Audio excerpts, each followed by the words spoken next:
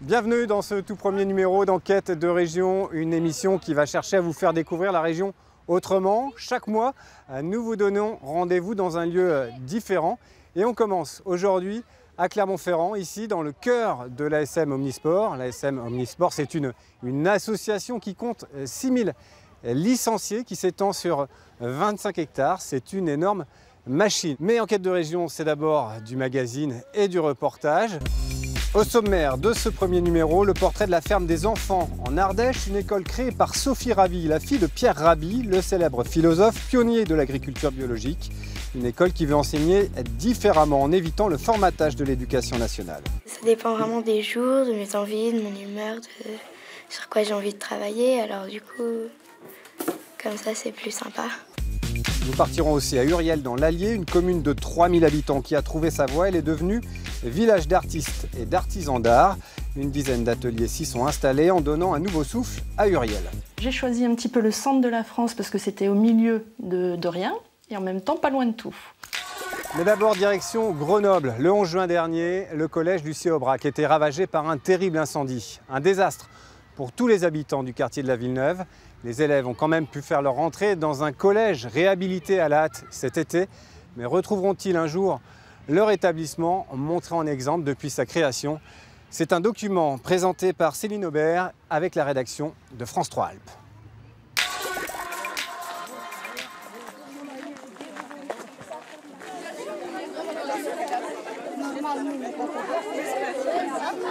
Allez dans la cour, on va faire l'appel dans la... Ok, d'accord. J'ai retrouvé tous mes potes et j'espère avoir une bonne classe. Bah, c'est plus petit que le collège Sobrac. Euh, D'abord, bienvenue à tous les, six, les cinquièmes qui arrivent pour la première fois dans cet établissement. Je suis Madame Saint-Amand, la principale du collège, vous me connaissez. Et cette année, c'est Monsieur Candelon qui s'occupe plus particulièrement des élèves de 5e. J'ai deux garçons, celle de 3e cette année et celle de 5e. Cette année, on a accompagné les enfants parce que voilà, ils ont brûlé le collège. Voilà. On verra cette année comment ça se passe. Pour les collégiens de la Villeneuve, cette rentrée est bien différente de celle de l'année dernière. Inquiets, le cœur serré, impatients, ils vont découvrir leur nouveau collège trouver de nouveaux repères, oublier leur habitude.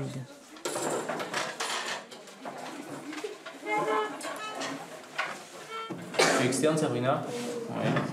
Tu fais allemand LV2. Ok. Et tu fais aussi partie de ceux qui vont au conservatoire. Très bien. Adjer. Tu fais bien espagnol LV2 et tu es dans la classe à horaire aménagé théâtre au conservatoire. Ok. Il est beau ce collège, je trouve. Je pensais qu'il serait plus vieux, que les lumières parfois ne marcheraient pas partout. Mais j'ai vu que là, ils ont même refait la peinture. Tout marche, tout marche parfaitement et voilà. L'autre, on tournait en rond, donc on ne pouvait pas se perdre. Là, et même, j'aime, je, je préfère l'architecture de l'autre. Vous savez qu'on est dans un nouveau collège, que on n'a pas autant de salles qu'il y avait avant, et donc on a des emplois du temps qui ont été un peu plus compliqués à faire. Donc c'est vrai que à Lucie Aubrac avant, on avait très peu d'heures de trou. Je pense qu'ici vous aurez peut-être un peu plus d'heures de permanence, parce qu'on ne peut pas faire autrement vu le nombre de salles. On est juste ravis de tous se retrouver et voilà de ne pas se retrouver euh, tous dispersés dans l'académie euh, et d'abandonner des projets qu'on avait mis pour certains euh, énormément de temps et d'énergie à monter. C'est vrai que c'est un collège spécial qui a, enfin, sur lequel on, investit, on a investi beaucoup de moyens dans les, dans les dernières années. Et il nous semble que ce serait vraiment dommage que tout ça tombe à l'eau comme ça pour, pour une bête histoire d'incendie. 11 juin 2017, 2h du matin à la Villeneuve, le collège Lucie Aubrac s'embrase. J'ai entendu des bruits, enfin des enfants euh, euh, crier, donc je me suis mise sur ma terrasse et puis euh, j'ai entendu deux trois, euh, filles là, euh, qui euh, se disputaient et qui disaient il faut appeler les pompiers, il faut appeler les pompiers. Et puis là, j'ai vu, j'ai vu des flammes. Et puis très rapidement, je me suis aperçue que c'était le collège parce qu'il a, pris, il a pris feu rapidement. Quoi. Cette nuit-là, un caddie rempli de pneus en flammes est jeté contre les murs du collège. Un départ de feu qui aurait pu être facilement maîtrisé. Mais à leur arrivée, les sapeurs-pompiers sont caillassés. À leurs fenêtres, les habitants assistent impuissants à l'incendie. Quelques heures plus tard, à leur réveil, ils vont découvrir un spectacle désolant. Je suis arrivé le matin, il devait être 6h, 6h30. Et la police, les pompiers, le collège euh, qui était déjà. était encore fumant, voilà. Ouais, beaucoup de colère, désemparé au départ, vraiment abattu. Et puis, euh, envie de pleurer. Ça se fait pas de brûler un collège. Je comprends pas, c'est pas humain. D'après les témoins de cette terrible nuit, des jeunes auraient provoqué l'incendie.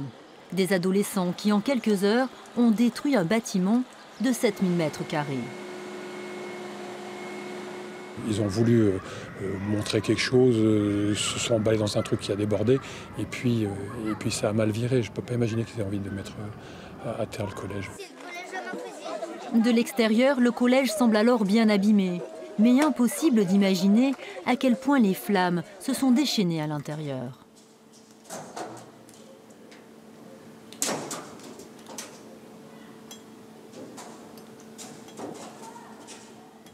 Éventré de part en part, le collège Lucie Aubrac a fondu par endroits.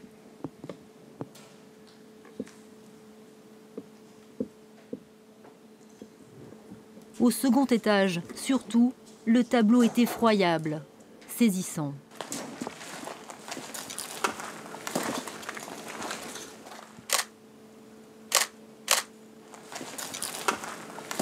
Je pensais qu'il y avait juste une petite partie euh, qui avait brûlé, mais je m'attendais pas à ça. C'est comme s'il y avait une bombe.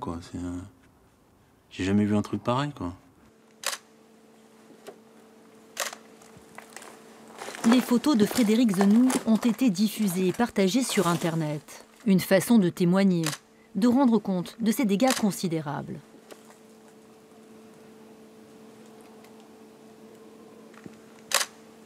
Là, c'était la bibliothèque et là, c'était une salle de théâtre en fait.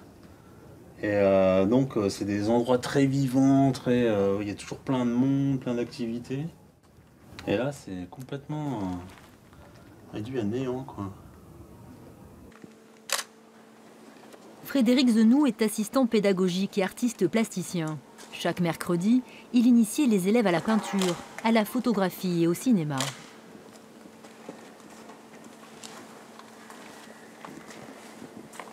Quand ça a brûlé, il y en a plein qui sont venus me voir. Euh, est-ce qu'on va continuer, Frédéric, l'année prochaine ou pas Comment ça va faire Est-ce que tu seras là encore? Parce que les enfants, ils sont, sont naïfs. C'est assez marrant, quoi. Mais ils croyaient que c'était que je travaillais plus du jour au lendemain, il n'y avait plus personne. Mais donc je leur ai dit quand même, je les ai rassurés, on fera encore des choses. Voilà quoi. Faut faire euh, avec ce qu'on a. Pour comprendre l'importance de ce collège dans le quartier, il faut revenir aux origines de la Villeneuve. 1973, la cité sort de terre au sud de Grenoble. Elle est organisée autour de ses commerces, ses écoles et son collège, intégré et ouvert. Dans les coursives, les ouvriers côtoient les médecins et les ingénieurs, car cette ville d'un genre nouveau est fondée sur un idéal, la mixité, garante de paix sociale. Il y a un vrai choix de notre part, euh, une vraie envie de, vivre. Je trouve que c'est un quartier pour moi qui, est totalement à l'image du monde. Pour nos enfants, c'était en tout cas une envie de, grandir avec des gens différents, dont on apprenne des façons de vivre différentes. Euh, un quartier qui, faisait très envie parce que depuis 73 et les années du Boudou, il y avait toute une utopie qui nous, a, qui nous attirait. Situé au pied des immeubles de l'Arlequin, le vieux collège expérimental est fréquemment dégradé. Vingt ans après sa création, un nouveau projet va voir le jour. Il est initié par le maire et président du Conseil général, Alain Carignon, et adoubé par la ministre de la Ville de l'époque, Simone Veil. Mais évidemment, pour, quelques, pour des habitants, euh, ceux qui sont là... Il y a eu une mission d'étude euh, à laquelle j'ai participé en Angleterre. Hein. On est allé en Angleterre pour voir des collèges un peu expérimentaux. Et l'idée d'une équipe dont j'oublie le nom, hein, une équipe chargée de, de, réaliser le projet, a eu cette idée de collège du futur, avec des choses intéressantes, hein, des modules intéressants. au niveau de l'architecture, c'était intéressant. En 1995, le Collège du Futur est inauguré. Une soucoupe volante posée au cœur du parc. Une architecture plus conforme à l'esprit du collège. Car si le contenu des cours est le même qu'ailleurs, l'encadrement des élèves est, lui, très différent.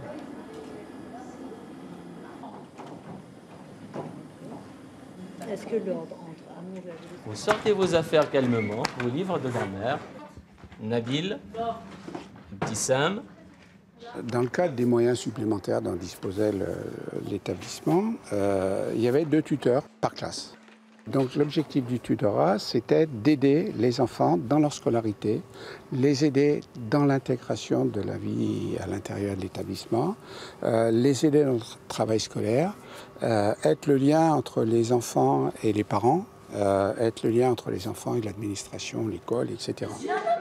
Deux secondes, levez la main. 40, on l'avait pas.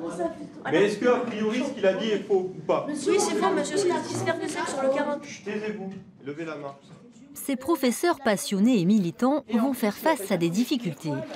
L'histoire du collège est émaillée d'incidents. Agression des professeurs, incendie de l'appartement du principal. Car dès les années 90, la crise va profondément changer le quartier. Les services de police du quartier on a vu petit à petit une population devenir de moins en moins mixte, avec une population de plus en plus d'origine étrangère et de familles monoparentales, avec tous les corollaires les conséquences que l'on connaît, euh, qu'on voit un peu partout dans les quartiers populaires, c'est-à-dire euh, une déscolarisation malheureusement croissante hein, des, plus jeunes, avec le fait qu'ils se retrouvant euh, à l'extérieur, dans la rue, la délinquance augmente. On a vu apparaître et se développer malheureusement le chômage, et notamment le chômage des jeunes, de façon formidable. Aujourd'hui, ça doit être plus de 40%. Et puis euh, également, malheureusement, le trafic de drogue. Politique d'attribution des logements, ils ont laissé venir les mères seules, les gens, les chômeurs. C'est vrai. C'est vrai, on en parle beaucoup de ça. Mais moi, je dirais aussi que l'immigration a changé. C'est-à-dire que aujourd'hui, habite à la Villeneuve, des immigrés très démunis. Chômage, euh, méconnaissance du français, euh, euh, mère seule. Je pense que l'équipage parental du, quartier est vraiment en souffrance.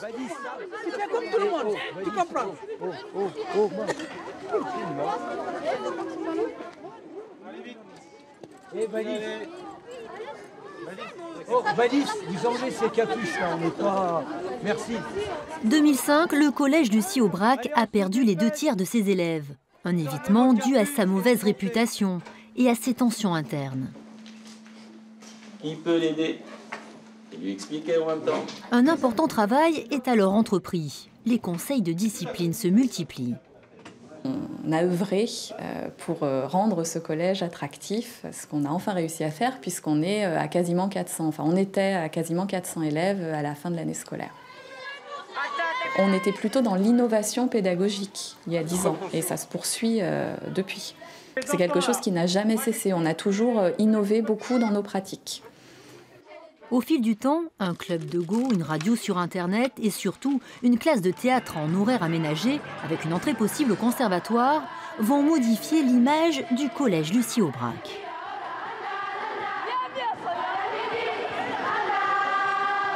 Je me souviens que des, gamins qui sortaient du collège La Villeneuve, qui allaient aussi, qui allaient ensuite au, au lycée euh, Emmanuel Mounier, réussissaient très bien. Moi, quand, j'étais chef d'entreprise, j'ai recruté des, ingénieurs qui avaient fait l'école polytechnique, qui étaient passés par le collège de la Villeneuve. Il y avait donc hein, là des capacités absolument évidentes de valorisation, de promotion. Pour moi, c'est un collège qui a ouvert la tête de mes enfants, qui leur a appris à regarder, regarder l'avenir euh, euh, sans, sans faire l'autruche, avec les difficultés qu'il y a. Alors après, il y a le tempérament, de chacun. Peut-être qu'on a eu quatre enfants qui ont, ont été bien. Peut-être, je ne sais pas, j'ai des amis dont les enfants ne sont pas restés au collège. Mais nous, c'était un choix de parents qu'on n'a pas regretté, qu'on revendique, qu'on revendique. le collège de la Villeneuve a marqué plusieurs générations d'élèves. C'est le cas de Soukaina. Moi, j'habitais euh, là-haut, au 12, au 14 Galerie de l'Arlequin. Et euh, c'était euh, il y a très longtemps, je suis quasiment née ici. hein. Mes parents ont toujours vécu, en tout cas depuis ma naissance, ici. Et j'étais à l'école là, à l'école des Charmes, du coup qui est maintenant la régie de quartier, juste là. Soukaina se destine au barreau. Issue du MJS, le mouvement des jeunes socialistes, elle a été candidate aux dernières élections législatives.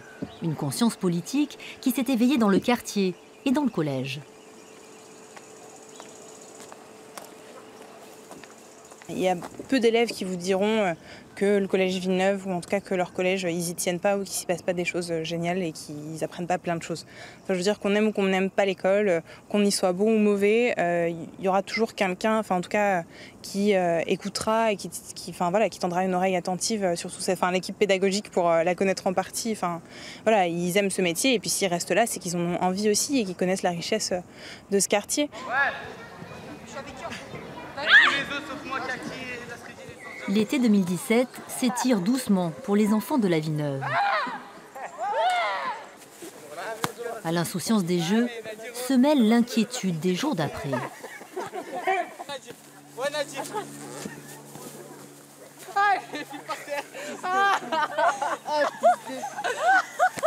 Dans ce collège, ouais, c'était bien. De l'extérieur, on croit qu'il est petit, mais à l'intérieur, il est grand. En fait, c'est ça. Et c'était un beau collège. Il faisait partie des plus beaux d'Europe. J'avais pas peur. T'es un homme. On est des hommes, madame. Et je suis fusée. Mais quand même que tu te disais quoi? Euh, C'était trop triste hein, qu'ils ont brûlé. C'est pas bon. Pourquoi ils ont brûlé le collège? On va, passer, on va passer notre vie euh, au, à- au collège du sol, le vieux collège du sol. Et moi, je vais aller au village olympique, c'est plus proche. Non Ben, j'habite au 70. Là, je dois, je, dois, je dois faire ça pour aller au collège des sols. Alors que le village olympique, c'était pas juste le point et je suis arrivée.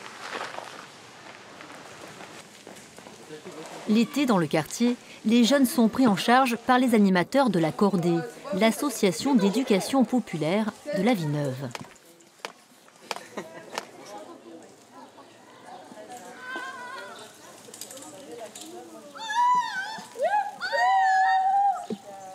Les petits qui vous allez rentrer en sixième et tout, là, je peux vous dire qu'ils ont pleuré. hein.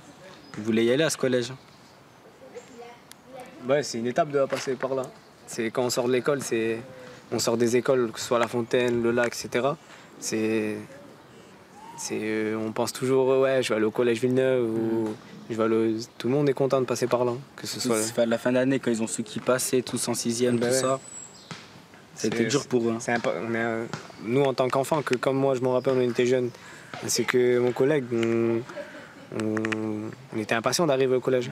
Quand on est arrivé, on On dormait pas la veille de la rentrée. Ah ouais, c'était. on venait en courant. Pendant ce temps, au conseil départemental de l'Isère, le temps est compté. Il faut d'urgence réhabiliter un vieux collège pour accueillir les élèves de la mais arrondissez. 2 millions 3. 2 millions 3 pour le plus cher. Ouais, 2 millions 3 à peu près. Ouais, enfin, les- les- les- À 949, 262. Est-ce que les trois entreprises se sont engagées à, à respecter le délai qui était demandé sur une livraison de l'opération à la semaine 34. Donc c'est l'avant-dernière semaine du C'est le mois. 25 août. Maintenant, bon, bah, c'est euh, c'est la phase, j'allais dire, la plus périlleuse. Bah, c'est la phase travaux. Et alors, n'est pas trop stressé quand même, parce que euh, on n'a pas de, de- de travaux structure euh, importants. C'est-à-dire, on n'est pas obligé de casser des murs porteurs, on n'est pas obligé. Il y a peu de maçonnerie. Donc on ne devrait pas avoir de, de surprise majeure. C'est de la peinture, c'est du, c'est du sol souple, euh, c'est des câbles. Ça, ça devrait bien se passer. c'est là où il ne faut pas questionner les techniciens. C'est pas sûr. Les, les délais d'approvisionnement. En fait. Le lendemain, visite de chantier à l'ancien collège des Sols. Situé en bordure de la Villeneuve, il a été désaffecté fin 2016. C'est ce bâtiment qui a été choisi pour accueillir les collégiens de Lucie Aubrac. On est d'accord. C'est celui-là, le fameux châssis. Donc, faut recréer le coupe-feu, là. Faut Donc on recrée le coup-feu Ah bah oui, ça évitera le coup-feu, il faut qu'on reste coup-feu. On recrée, mais il n'y a pas de problème, on va trouver des produits pour faire coup-feu. On va faire quelque chose de propre avec une cornière dessous. euh, Et c'est ces portes-là, vous avez un délai de. Oui. À cause du ici en fait. Ça n'empêche pas effectivement de, de. On dort pas beaucoup. Euh, non, je pense enfin, l'ensemble des, des acteurs de l'opération sont plutôt motivés. Enfin, c'est clairement un challenge pour tout le monde.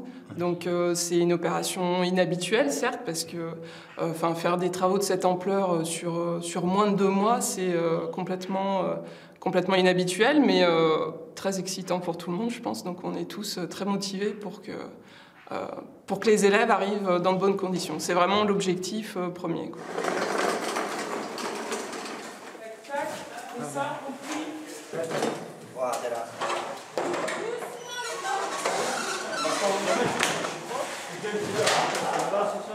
Euh, Cinq semaines plus tard, dernier coup de pinceau, nettoyage de fond en comble.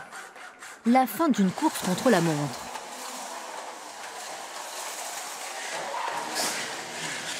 L'intégralité du bâtiment doit être rendue pour le 25 et on l'a joué stratégique. Sincèrement, on l'a joué stratégique. On n'a pas le temps de réfléchir. En fait, on n'a pas le temps, par exemple, pour le déménagement, on n'a pas le temps de faire salle par salle. On a fait déjà le plus lourd et après le plus léger parce que c'est euh, quand même un travail qui est assez fastidieux. On revient de loin. On revient de loin. Du collège brûlé au collège réhabilité, elles aussi vont vivre une seconde vie. Les chaises et les tables de Lucie Aubrac.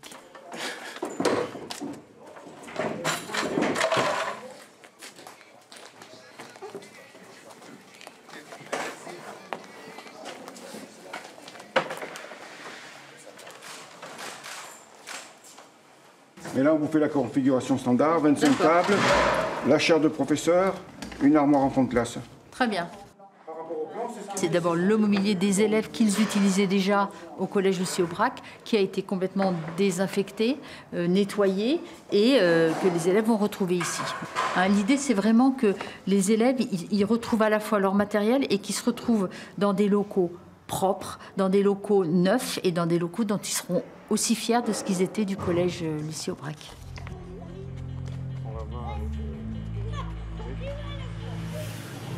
La rentrée passée débute une nouvelle étape, car l'accueil des élèves à l'ancien collège des Saules n'est qu'une solution temporaire, pour trois ans seulement. Dès à présent, se pose la question de l'avenir du collège de la Villeneuve.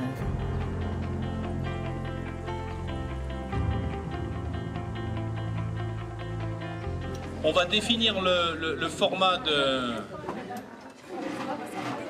de, cette première réunion de, concertation. Donc on a, plus problème d'être sous la pression et, moi j'en suis heureux parce que c'est des décisions importantes que nous allons devoir prendre pour, euh, l'avenir.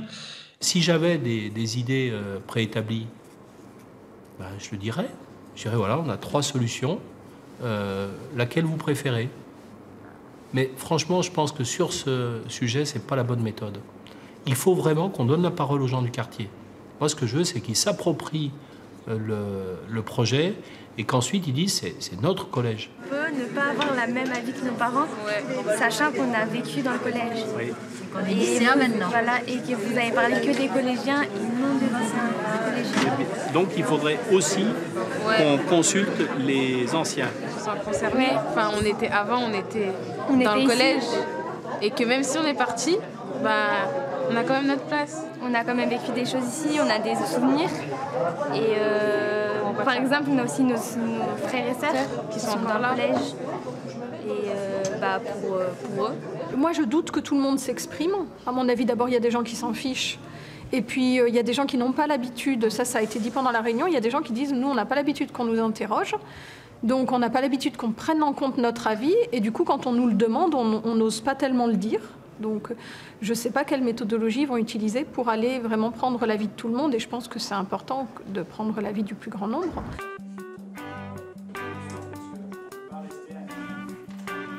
Il faut un rapporteur par groupe. C'est à vous de décider qui prendra la parole pour expliquer ce qu'a fait le groupe. Qu'est-ce qu'un héros Un héros est une personne courageuse qui sauve quelque chose ou des vies? Alors, Début 2018, le destin du collège de la Villeneuve sera définitivement scellé.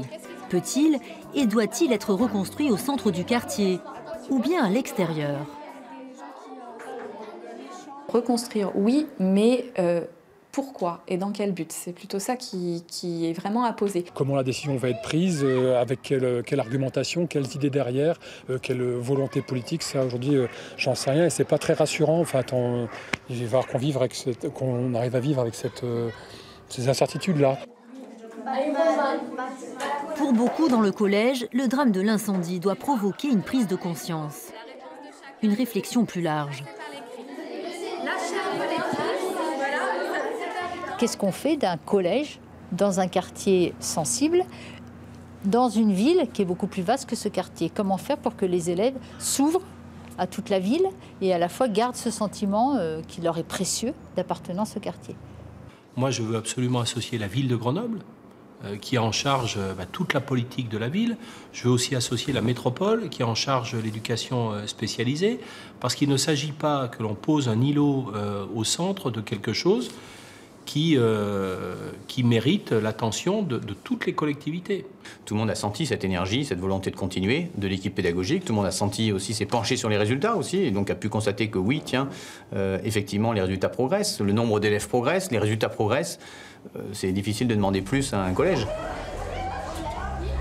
En 10 ans, le taux de réussite au brevet de Lucie Aubrac est passé de 60 à 83% Une prouesse pour un collège en réseau d'éducation prioritaire.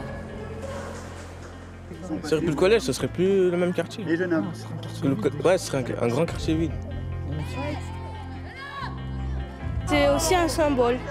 Si on parle euh, de quelqu'un de la Villeneuve, il va dire c'est là-bas qu'est le collège de la Villeneuve. Ce sera comme une référence pour eux. C'est notre collège, le collège de la Villeneuve. Pour les habitants de la Villeneuve reste cette question. Qui a mis le feu au collège et pourquoi? Fin septembre, huit jeunes ont été arrêtés puis relâchés, des mineurs du quartier. Mais personne pour l'heure n'a été mis en examen.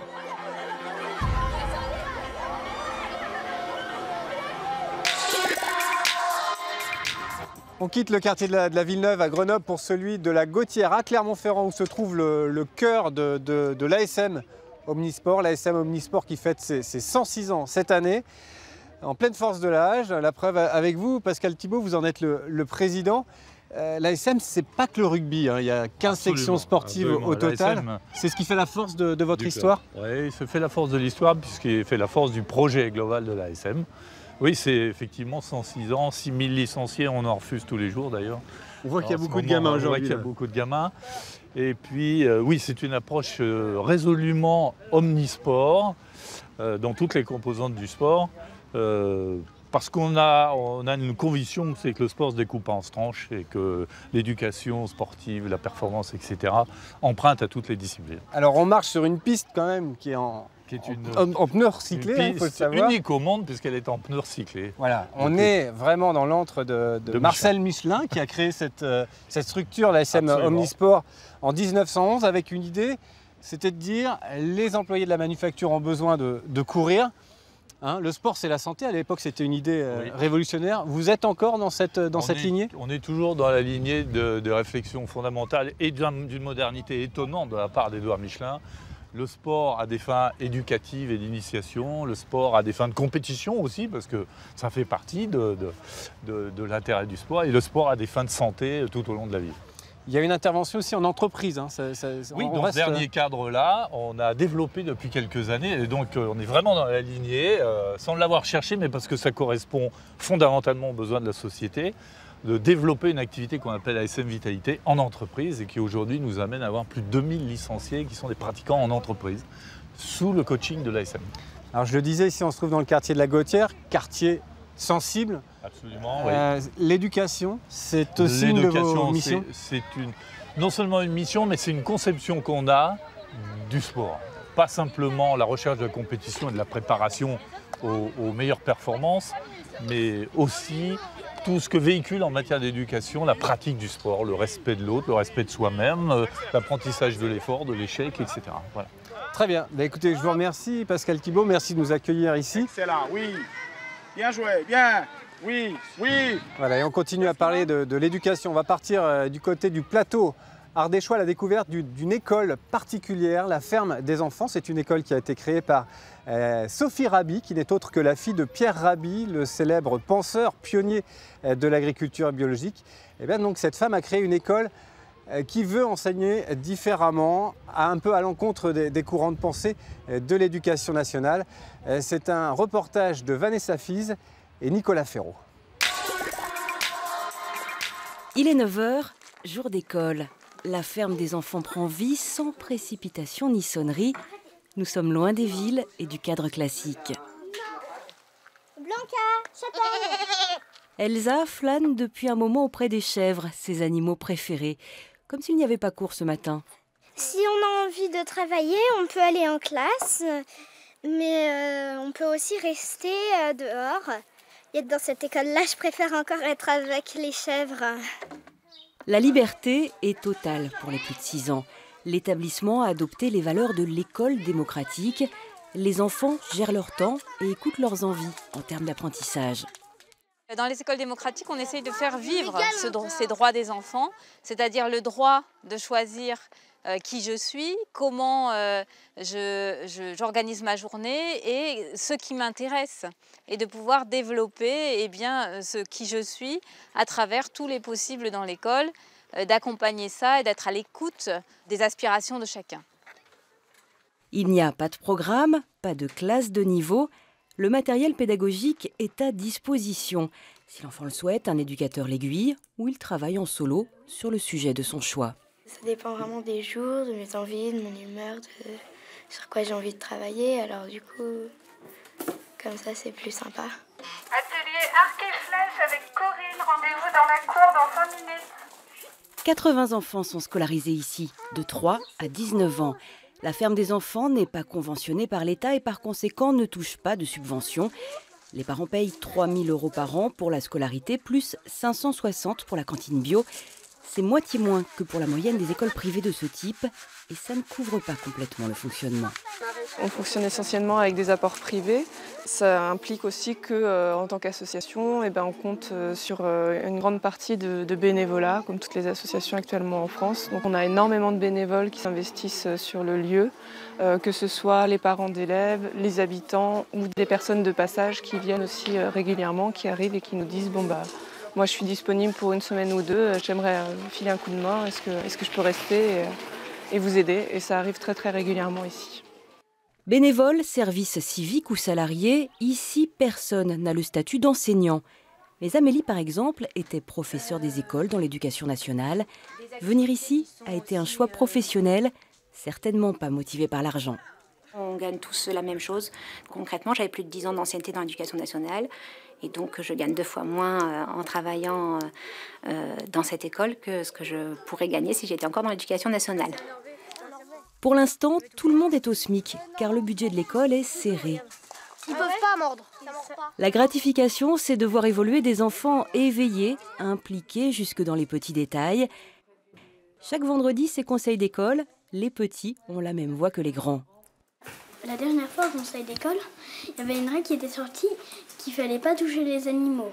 Et du coup, moi, j'ai trouvé ça pas très juste parce qu'il fallait pas les déplacer. Mais les animaux, ils se déplacent bien. Ils vont pas rester toujours au même endroit sans bouger.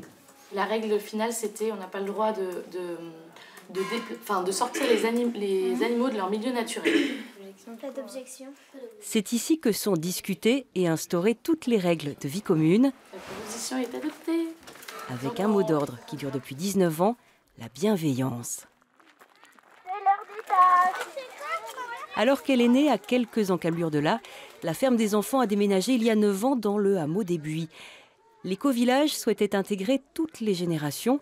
L'école tombait sous le sens. Les habitants contribuent bénévolement et matériellement. Déjà, on a mis à sa disposition euh, le, le euh, donc sans, sans loyer. On, paye les factures d'électricité, de gaz, d'eau, euh, peut-être de téléphone aussi, je crois, oui, oui, de téléphone aussi. Et donc, euh, du coup, ça, c'est un, soutien matériel parce qu'une école privée hors contrat, elle, peut avoir un loyer de 5000 euros par mois et ça, fait des coûts vraiment importants. Une fois par semaine, habitants, parents, enfants se retrouvent pour une petite guinguette. Une façon de nouer des liens entre familles qui viennent d'un peu partout en France. Il n'y a pas de pension ici, alors tout le monde déménage pour une nouvelle vie. Ça a aussi un coût assumé. Il y a un fonds, des bourses euh, qui peuvent nous permettre aussi d'accéder à ce genre de, pédagogie alternative. Et c'est ça que je trouve chouette parce que souvent dans les pédagogies alternatives, bah, des fois, bah, d'ailleurs, on, a ce genre de retour. C'est pour les élites, c'est pour les personnes qui ont de l'argent. Bah, bah non. C'est un choix de vie, voilà. Où, est-ce que l'on met son argent Et ben, nous, on le met, là-dedans. Oui, financièrement, c'est pas, c'est pas. L'avenir de ces enfants n'est pas écrit, tout comme celui de l'école. La pédagogie a ses détracteurs et ses fans. Ce qui respire ici, en tout cas, c'est l'absence de stress et une maturité non dénuée de fantaisie.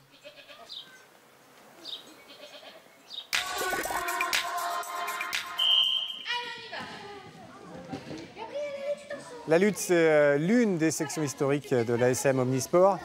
J'ai à mes côtés son président, Karim Saïb. Bonjour. Bonjour. Euh, vous êtes le fondateur également de Sport Avenir Jeunesse. Sport Avenir Jeunesse, c'est un dispositif qui a pour but de, on va dire, de faire grandir les jeunes par le sport. On peut, on peut dire ça? Oui, tout à fait. Donc, depuis ma présidence, euh, l'objectif, euh, discuté avec l'ASM Omnisport, c'était d'aller au-delà de la pratique sportive. Et dans le cadre de, de ce projet, euh, il est prévu, de, au travers la, la pratique sportive, euh, de créer un espace transitionnel dans lequel ils peuvent avoir accès à la socialisation, la culture et l'insertion. Concrètement, ici, on est dans un quartier sensible. Le but, c'est de, voilà, d'intégrer le jeune à un, vrai projet, à la fois sportif et éducatif. C'est tout à fait, c'est d'associer le parcours sportif au parcours de vie. Pour, euh, pour ce faire, nous avons un certain nombre de partenaires, parce que l'ASM ne peut pas agir seul, et d'essayer de, travailler tous ensemble pour que le jeune se retrouve autour d'un partenariat et que tout le monde se parle pour que le jeune puisse se retrouver euh, face à ses interlocuteurs pour les diverses demandes qui lui permettraient de, s'en sortir au-delà d'une, comme je vous ai dit tout à l'heure, de la pratique sportive. En gros, vous avez plusieurs partenaires. Hein. Il y a les pompiers, le tribunal et, aussi les, bailleurs sociaux. Le message, c'est en gros de leur dire arrêter de réparer les, carreaux cassés. Le mieux, c'est de payer une licence à un gamin pour, euh, pour qu'il fasse du sport. Tout à fait. Donc, euh, euh, sur cette action, je peux vous dire donc, que l'ensemble des bailleurs est partie prenante pour les aider à adhérer au sport. Donc ça, c'est le premier, le premier frein. Euh, la deuxième possibilité qui leur a été offerte par le biais de la T2C, c'est d'avoir créé une ligne qui irrigue l'ensemble des quartiers prioritaires et qui leur permette d'avoir accès euh, in situ au site euh, sportif de l'ASM et de leur permettre déjà d'avoir la, possibilité de faire du sport et de pouvoir travailler avec eux, avec d'autres partenaires comme euh, la MGEN et En gros, vous avez, enfin, je, veux, parler d'un retour sur investissement, ça paye ce dispositif? Oui, oui, tout à fait. C'est quoi les résultats? Ben, Les résultats, c'est que euh, nous avons une personne qui a été embauchée dans le cadre des contrats interministériels d'aller en pied d'immeuble pour sensibiliser les jeunes à la pratique sportive plutôt que d'être dans l'oisiveté. Euh, c'est déjà une, c'était déjà le premier objectif, les sensibiliser, euh, leur faire faire de la prévention et leur présenter le programme de transition que je vous ai décrit tout à l'heure. Merci Karim. On quitte euh, maintenant la ville pour la campagne. Uriel, dans l'Allier, la commune a décidé de devenir un village d'art et d'artisans. Et a priori, ça marche. C'est un reportage de Fabien Gandillon et Jean Jazet. À Uriel, près de Montluçon, l'attraction historique du village, c'est la toque, le donjon du XIIe siècle. Mais depuis quelques années, ce sont aussi les mains, celles qui créent, celles qui fabriquent. Une styliste couturière, un fabricant de chaussures anciennes, un restaurateur d'œuvres d'art, une céramiste, un sérigraphe, un armurier, des peintres, un verrier. En tout, une quinzaine d'artisans d'art exercent leur savoir-faire aux alentours. Même l'opticienne du village est en fait lunetière, elle dessine et fabrique elle-même ses montures à la main.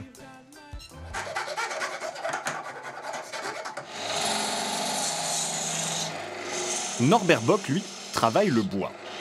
Mon métier, c'est tourneur sur bois. Ça consiste à créer des objets, Comme, comme ici une coupe, euh, puis ça peut aller jusqu'aux pièces de décoration ou comme de la vaisselle médiévale. Pour vendre ses créations, Norbert vient d'ouvrir une boutique dans le centre-ville d'Uriel. Et s'il a décidé de se lancer, c'est parce qu'il sait qu'il va être soutenu. Car ici, tout est fait pour aider les artisans à s'installer. Depuis 13 ans, c'est la priorité de la communauté de communes, faire d'Uriel un village d'artisans d'art.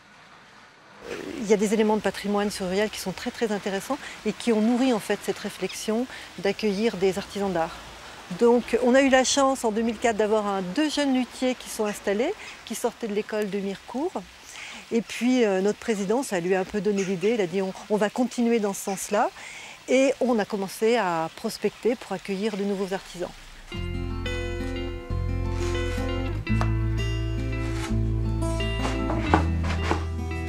Parmi ces artisans, il y a Magali Bécard. Dans son atelier, elle dessine et fabrique des vêtements entièrement à la main. Alsacienne d'origine, elle a décidé de poser ses valises à Uriel il y a trois ans. J'ai toujours grandi dans, des grandes villes, je viens d'Alsace, et euh, il me fallait un petit peu de campagne pour pouvoir créer, trouver l'inspiration. J'ai choisi un petit peu le centre de la France parce que c'était au milieu de, rien, et en même temps pas loin de tout. Donc stratégiquement c'était pas mal, à 3h30 de Paris, euh, pas loin du sud, pas loin euh, de toutes les grandes villes. Donc, et après, j'ai découvert par la suite ce petit village d'Uriel, qui, qui est un village d'art et d'artisans, et je suis tombée euh, vraiment amoureuse de ce petit village avec cette petite toque euh, sur la place. Magali crée des costumes pour le théâtre ou pour des comédies musicales, mais économiquement ça ne suffit pas toujours. Alors elle conçoit aussi des robes pour des particuliers et elle effectue de menus travaux de couture. Le village d'artisans lui permet de ne pas rester seule dans son atelier. À Uriel, ben, ce, qui est, euh, ce qui est génial, c'est justement qu'on est plusieurs artisans et artistes, donc on peut s'entraider, on peut créer des choses ensemble, on peut avoir des projets ensemble, et, euh, et à Uriel, il y a tout qui est encore à développer. Magali travaille par exemple avec Jean-Philippe Berniou. Dans son atelier, il fabrique des chaussures historiques, reproduction de modèles anciens qu'il réalise avec les techniques d'époque. Ah, un modèle qui fait toujours sensation, c'est la patte d'ours début Renaissance, modèle allemand, donc euh, début 16e. Alors ça, c'est euh, vraiment typique de, cette période-là, donc avec une forme vraiment dont qu'on n'a plus l'habitude de voir de nos jours. Jean-Philippe s'est installé à Uriel il y a 7 ans sans savoir que c'était un village d'artisans d'art. Ici, il n'a pas trouvé des concurrents, mais des amis. On est plusieurs artisans, dans une bonne ambiance. Il y en a plusieurs avec qui je m'entends très très bien, notamment ma, copine costumière. Donc euh, du coup, on a des, ayant des univers très proches, on fait souvent des, projets ensemble. Donc du coup, c'est, euh, ça fait une émulation entre nous. Ça permet de confronter, voir d'autres euh, techniques de travail différentes d'avoir des petits conseils. Voilà, j'ai eu des, j'avais un projet d'un, modèle de chaussure avec de la dorure à la feuille. Bah, je me suis adressé à Samuel le doreur, il m'a donné des petits conseils. Samuel, c'est Samuel Cherprenet, restaurateur d'œuvres d'art et spécialiste des bois polychromes et dorés. Lorsqu'il s'est installé à Uriel, il a bénéficié d'un soutien de la communauté de communes. Parfois ce sont des subventions. Pour lui, c'est passé par la mise à disposition de locaux pour démarrer. Euh, la communauté de communes euh, m'a mis à disposition, moyennant un tout petit loyer, un petit atelier au départ pour commencer, une quarantaine de mètres carrés. Et puis c'est vrai que rapidement celui-ci était un peu petit, euh, travaillant très rapidement aussi pour les monuments historiques. Donc effectivement il fallait un local plus grand. Donc je me suis installé dans celui-ci. Depuis, la communauté de communes a acheté ou rénové plusieurs locaux pour ses artisans. C'est toute une politique d'accueil qui a été mise en place. Quand un artisan d'art est intéressé, il nous contacte. Déjà, on voit avec lui quel type de locaux il recherche. Et puis, on les met en contact avec la boutique de gestion qui les accompagne sur leur projet de création d'entreprise, qui leur donne tous les éléments. Également, on a mis en place une subvention. On accorde à peu près une subvention maximale de 1000 euros euh, pour les artisans qui ont des projets euh, et ça leur permet d'appeler des fonds européens. Et ça fonctionne. Une quinzaine d'artisans sont installés, dont 11 dans le bourg. Le territoire est aujourd'hui officiellement reconnu comme village d'artisans d'art, un label bon pour la notoriété et pour la vie locale.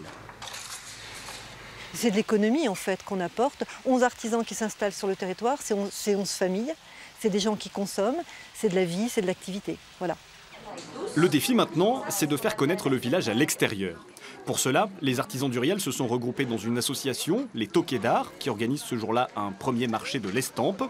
Le pari est ambitieux, la fréquentation encore timide, mais pour Céline, la présidente, c'est comme cela en sortant de leurs ateliers que les artisans feront vivre ce village. Il n'y a pas forcément une énorme partie de la population dans le coin qui est tournée euh, vers les arts de manière volontaire, donc il faut aller les chercher. Et ça, c'est vraiment, c'est vraiment le, sans doute ce qui, est le, ce qui est le plus difficile. Mais on sait que, c'est possible euh, et on y arrive, mais il faut pour ça exiger véritablement un niveau de qualité euh, des manifestations qui sont importants. Parce qu'il n'y a, a, pas à s'y tromper, quand la qualité est là, l'œil finit par suivre. D'autres artisans devraient à leur tour rejoindre le village d'Uriel dans les mois qui viennent. Le prochain candidat est un joaillier.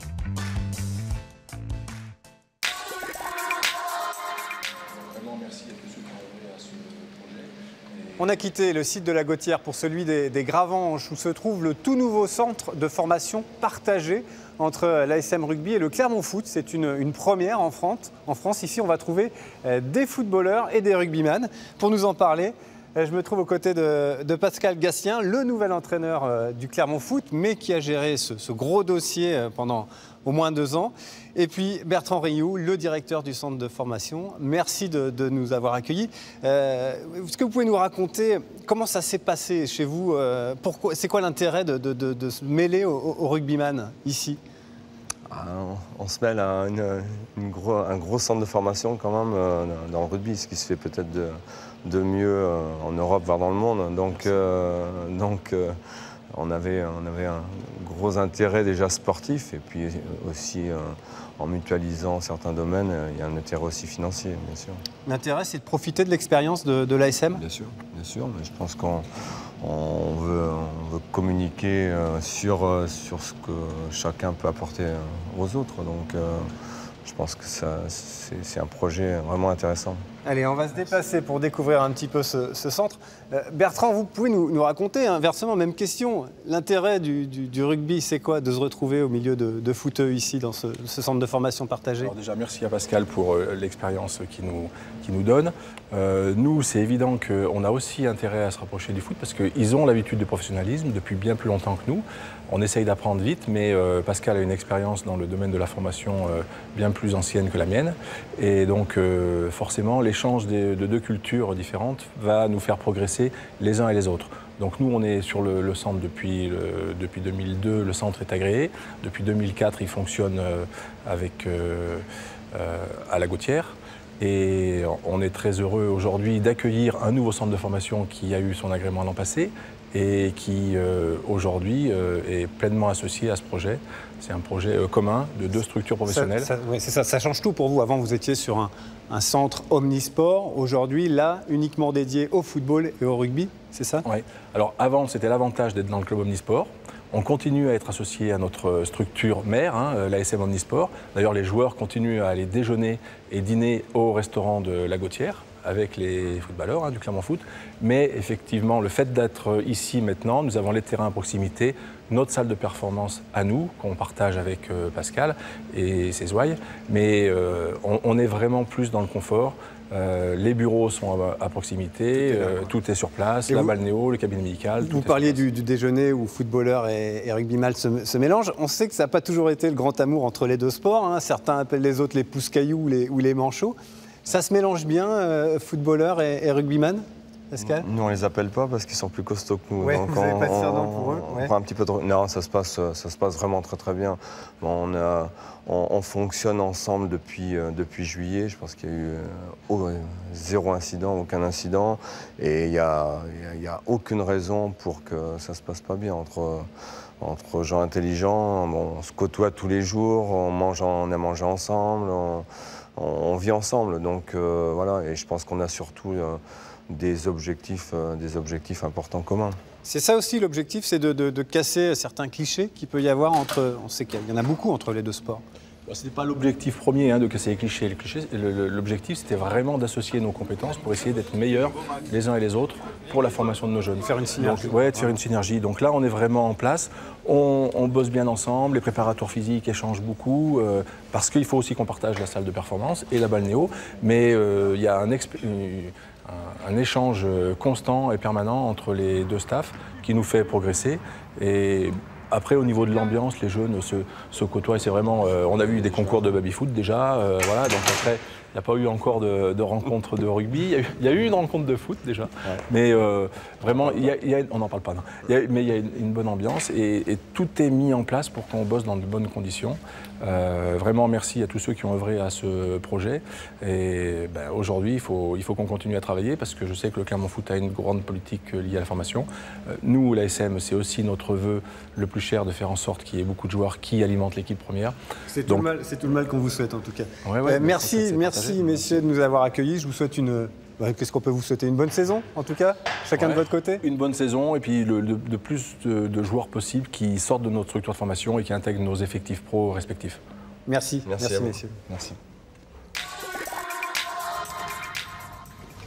Voilà, c'est la fin de cette émission. Vous pouvez la retrouver sur notre site internet aura.france3.fr. J'aurai le plaisir de vous retrouver pour un nouveau numéro début novembre. À bientôt.